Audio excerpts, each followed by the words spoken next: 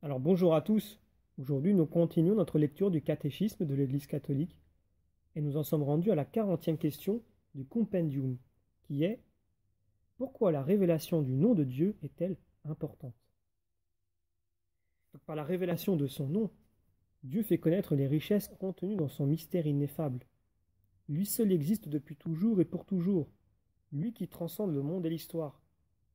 C'est lui qui a fait le ciel et la terre. Il est le Dieu fidèle, toujours proche de son peuple pour le sauver.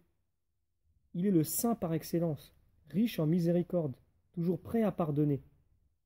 Il est l'être spirituel, transcendant, tout-puissant, éternel, personnel, parfait. Il est vérité et amour. Saint Toribio de Mogrovejo nous dit Dieu est l'être infiniment parfait qu'est la Sainte Trinité.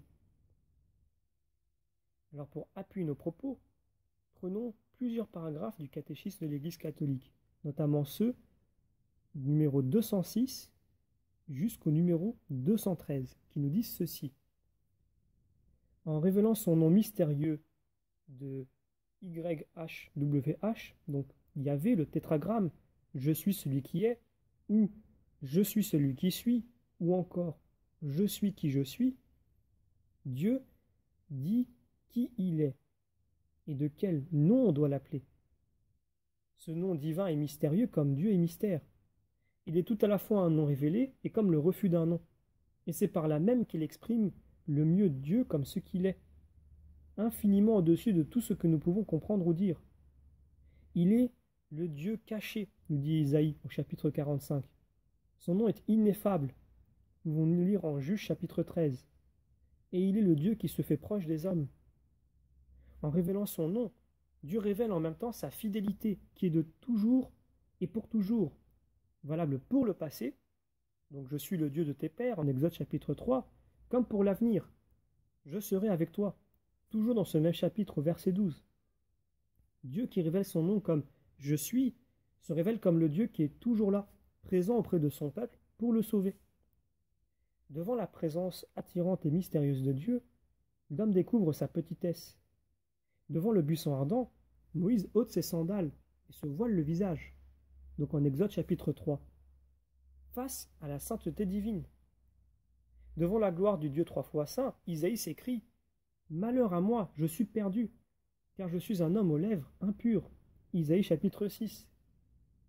Devant les signes divins que Jésus accomplit, Pierre s'écrie Éloigne-toi de moi, Seigneur, car je suis un pécheur. Luc chapitre 5. Mais parce que Dieu est saint, il peut pardonner à l'homme qui se découvre pécheur devant lui. Je ne donnerai pas cours à l'ardeur de ma colère, car je suis Dieu et non pas homme. Au milieu de toi, je suis le saint. Pouvons-nous lire en Osée chapitre 10, verset 9. L'apôtre Jean dira de même. Devant lui, nous apaiserons notre cœur, si notre cœur venait à nous condamner, car Dieu est plus grand que notre cœur et il connaît tout. 1 Jean chapitre 3, verset 19 à 20. Par respect pour sa sainteté, le peuple d'Israël ne prononce pas le nom de Dieu. Dans la lecture de l'Écriture sainte, le nom révélé est remplacé par ce titre divin, Seigneur, Adonai, ou en grec Kyrios. C'est sous ce titre que sera acclamée la divinité de Jésus. Jésus est Seigneur. Donc les paragraphes que nous allons lire maintenant se trouvent sous l'intitulé Dieu de tendresse et de pitié. Avec le péché d'Israël, qui s'est détourné de Dieu pour adorer le veau d'or, en Exode chapitre 32, Dieu écoute l'intercession de Moïse et accepte de marcher au milieu d'un peuple infidèle, manifestant ainsi son amour. À Moïse, qui demande de voir sa gloire, Dieu répond Je ferai passer devant toi toute ma bonté, beauté, et je prononcerai devant toi le nom de Yahvé. Exode chapitre 33, versets 18 à 19 lorsque je prononce Yahvé, il est en fait indiqué le tétragramme YHWH. Et le Seigneur passe devant Moïse et proclame Yahvé, Yahvé, Dieu te tendresse et de pitié, lent à la colère, riche en grâce et en fidélité. Exode chapitre 34, versets 5 à 6. Moïse confesse alors que le Seigneur est un Dieu qui pardonne. Le nom divin, je suis, ou il est, la fidélité de Dieu qui, malgré l'infidélité du péché des hommes et du châtiment qu'ils méritent, garde sa grâce à des milliers. Dieu révèle qu'il est riche en miséricorde. Voir notamment Éphésiens chapitre 2. En allant jusqu'à donner son propre Fils. En donnant sa vie pour nous libérer du péché, Jésus révélera qu'il porte lui-même le nom divin. Quand vous aurez élevé le Fils de l'homme, alors vous saurez que je suis. Jean chapitre 8 verset 28.